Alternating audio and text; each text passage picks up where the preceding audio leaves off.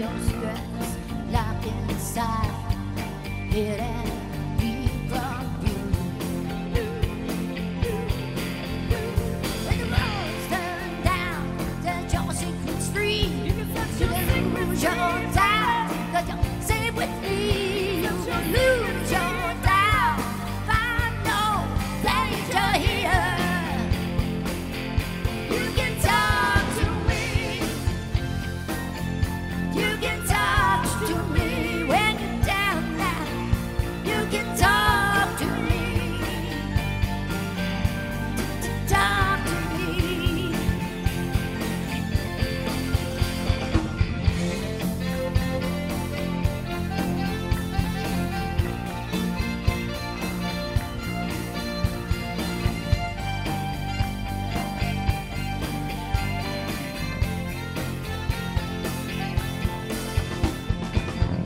Do we live face to face, cheek to cheek, our voices strained from common ground where they could meet? Walls run high to veil and swelling tears.